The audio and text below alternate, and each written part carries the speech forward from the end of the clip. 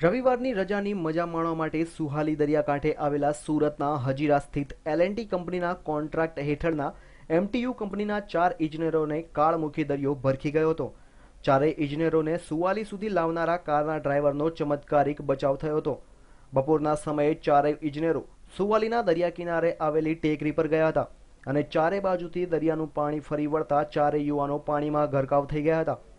Police, fire brigade અને helicopter દ્વારા શોધખોળ કરવામાં આવી હોવા છતાં મોડી સાંજ સુધી આ ચારેયનો કોઈ જ પતો લાગ્યો ન હતો, જેથી ફાયર બ્રિગેડે રેસ્ક્યુ ઓપરેશન બંધ કર્યું હતું. જે બાદ સોમવારે સવારે ફરી આ રેસ્ક્યુ ઓપરેશન હાથ ધરવામાં આવ્યું હતું. બપોરના સમયે સુહાલી દરિયાકાંઠે રેસ્ક્યુ ઓપરેશન દરમિયાન ચારમાંથી એક યુવકની લાશ મળી આવતા ચકચાર મચી જવા પામી હતી. ફાયરની ટીમે આ મૃતદેહને પોસ્ટમોર્ટમ અર્થે સિવિલ હોસ્પિટલ મોકલી આપી બાકીના ત્રણ યુવાનોની શોધખોળ હાથ ધરી હતી.